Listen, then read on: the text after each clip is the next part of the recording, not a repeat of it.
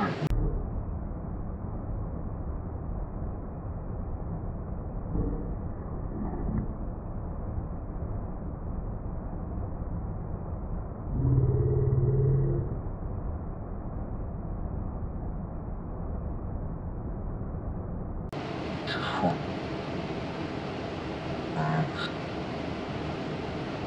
Two, one.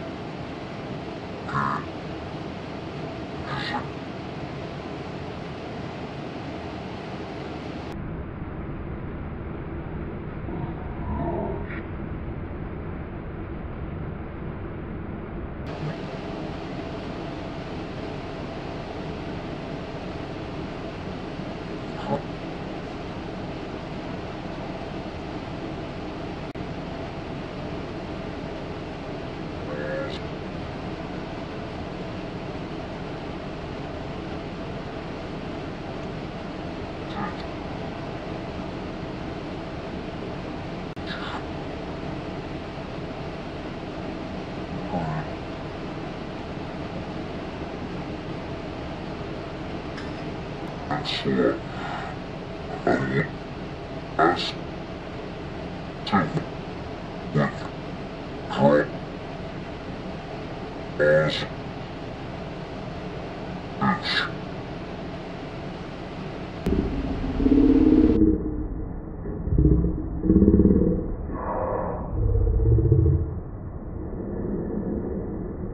Four,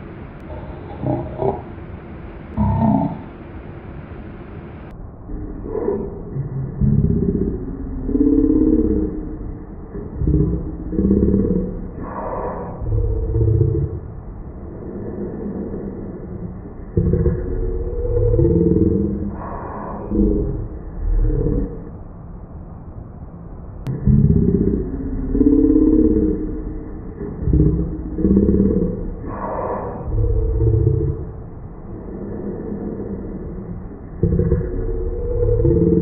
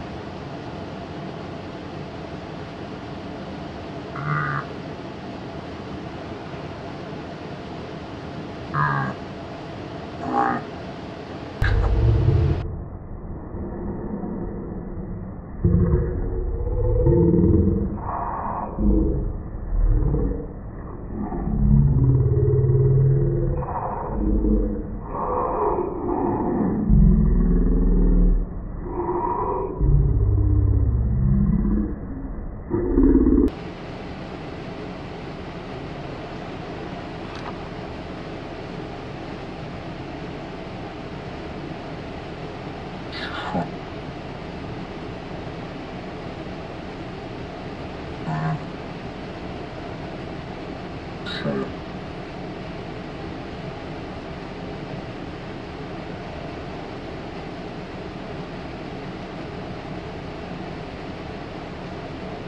one.